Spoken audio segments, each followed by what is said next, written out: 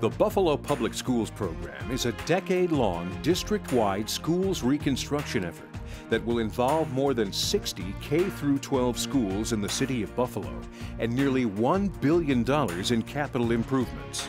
The program, however, will have significant impact on the Buffalo community far beyond the construction program. The Buffalo Public Schools program has been designed as a vehicle of much needed change for our community.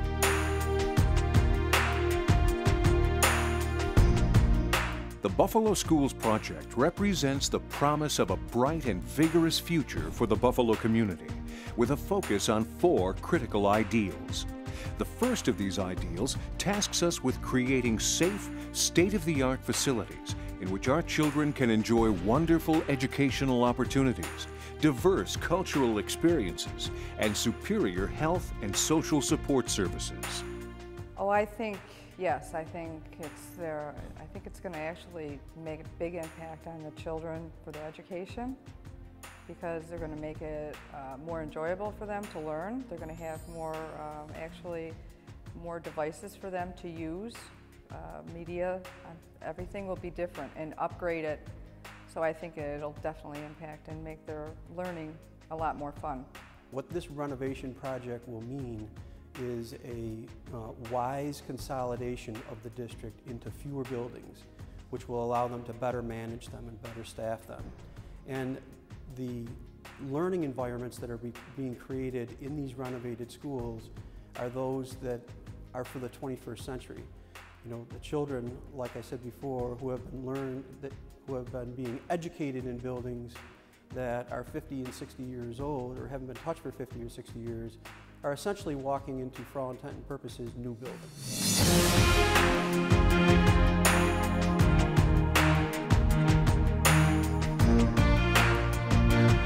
The second of these ideals will result in the building of centers of excellence in every corner of our community all of Buffalo's public schools will offer unparalleled environments for our children and their families. In addition to all those great things, we're trying to help our neighborhoods develop too.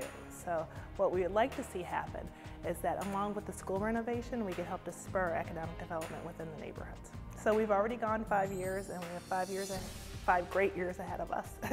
so hopefully we could just do more of what we've already started to do. Uh, that means renovation of schools, it means diversifying the workforce, the business utilization, working along with the trades, and also helping our neighborhoods to grow.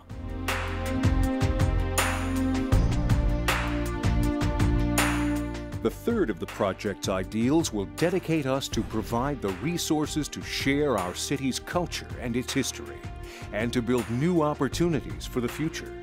Our schools and neighborhoods will support each other as we grow and prosper.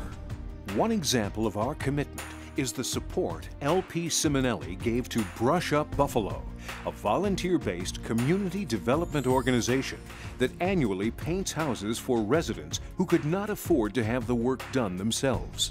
LP Ciminelli provided logistics, supplies, transportation, staff, and money to the project that this year took place in the neighborhood that surrounds the Lovejoy District's Public School number 43, currently undergoing complete renovation and expansion.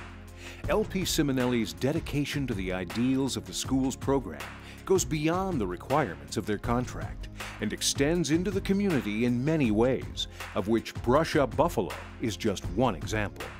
For the Lovejoy District, also known as Iron Island, this is fantastic for the local community.